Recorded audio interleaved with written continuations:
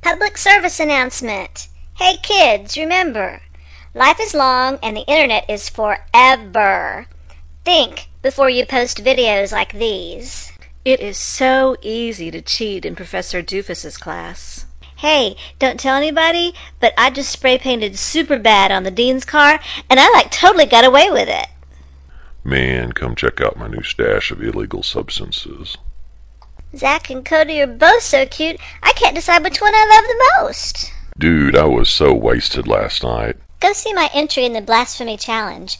Just search for my real name. Here's me topless on spring break. You may want to marry money one day, or run for Congress, or get a real job.